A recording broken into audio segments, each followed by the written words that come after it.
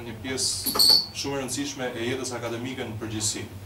Duhet të jenë pjesë shumë e rëndësishme për jetën e çdo studenti, sepse është ndryshe të lexosh në libra, ndryshe të dëgjosh në auditore dhe ndryshe pastaj të bashkëbisedosh. Dhe pjesa më e rëndësishme sot për sot, për mendimin tim, është bashkëbisedimi, pyetjet dhe përgjigjet. Është ndonjëherë shumë e vështirë, por është shumë e bukur dhe sjell më shumë rezultat dhe më shumë feedback. Jemi mësuar zakonisht që të dëgjojmë fjalime, përshëndetje dhe tundje dore dhe më pas largime, ndërkohë që pyetjet, përgjigjet, bashkëbisedimi janë pjesë që i mungojnë ose nuk i mungojnë plotësisht, por i mungojnë në një masë të gjerë jetës sociale, dhe edukative arsimore shqiptare. Por para se të vazhdoj, unë ju falenderoj për përmendjen e CV-së, vetëm në një gjë nuk jam dakord aty me edhe që më quajtët profesor. Profesor quhet dhe është profesor Marenglen. Kam pasur fatin dhe shansin që të jap mësim në Universitetin e New Yorkut, por titulli profesor është një titull që fitohet me vite shumë të gjata pune dhe karriere akademike. Megjithatë, në qoftë se sot dhe tema pluralizmi politik dhe uh, lidershipi rinor, në qoftë se sot nuk do kishim pluralizm, sot do ishte shumë e vështirë të merrnin të gjithë të tjerë. Sepse sot uh, do ishte shumë e vështirë që 5.000 studentë uh, të studionin në Universitetin Vitrina dhe me mijëra studentë të tjerë të uh, studionin në universitete të tjera private, qoftë dhe në universitetet shtetërore. Sepse çfarë ka sjellë pluralizmi politik? Pluralizmi politik ka sjellë dhe pluralizme të tjera dhe një nga këto, duke qenë që jemi në fushën e arsimit, është pluralizmi i edukimit dhe i arsimit.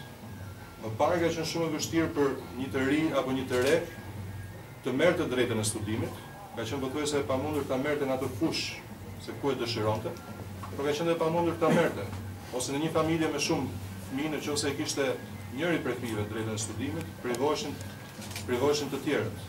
Sot kjo gjë është një realitet i kaluar, është një realitet i shkuar dhe sot aksesi për edukim është në maksimumin e tij të mundshëm.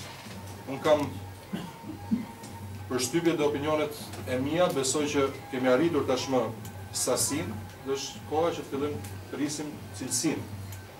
Procesi i akreditimit, i vlerësimit të universiteteve është shumë i rëndësishëm, por duhet të jetë shumë rigoroz, sepse në fund fare, në momentin që një student përfundon një shkollë, një universitet, merr një letër që ka shumë vlerë, merr një diplomë. kush tre plus treshin, kush tre plus dyshin, procesi Bolonjës është shumë i komplikuar dhe shumë i ngatërruar për mendimin tim, por fakti është që është ky për ky sistem sot, jo vetëm në Shqipëri, por në Europë. Megjithatë, kush mbaron një shkollë, merr një dokument shumë të rëndësishëm që duhet për të ardhmen. sepse krijon bazën e asaj çfarë vjen në të ardhmen. Në shkollë nuk mund ose në universitet nuk mund t'i mësosh dot të gjitha. Një prej pedagogëve të mi të uh, udhëheqjes së temës diplomës thoshte që në shkollë nuk i mëson të gjitha përgjigjet. Po në shkollë, në universitet ti mëson mënyrën se si të gjesh përgjigje. Pra në qoftë ke një pyetje, mëson mënyrën se ku ta kërkosh përgjigjen për atë pyetje ose procedurën se si ta kërkosh përgjigjen për atë pyetje. Por hapi parë dhe guri themelit është pa diskutim arsimi. Dhe kjo vjen si rrjedhojë e një pluralizmi të përgjithshëm. Dhe duke filluar me pluralizmin politik që është më i rëndësishmi, sepse në fund fare pluralizmi politik sjell dhe pluralizmin e ideve dhe mendimeve. Jo më larg se para një jave dhe pa dashur të bëj politikë, u festua njëzet e dy marsi i vitit një mijë e nëntëqind e nëntëdhjetë e dy në Shqipëri, njëzet vjet nga zgjedhjet e para të lira dhe demokratike. Pra hapi i parë i pluralizmit politik në Shqipëri, një pluralizëm i munguar për shumë vite me radhë, për më shumë se pesëdhjetë vite me radhë, një pluralizëm që hapi derën më pas të gjithë ndryshimeve të tjera, ndryshime diku për mirë, ndryshime diku për keq, ndryshime diku më shpejt, ndryshime diku më ngadalë.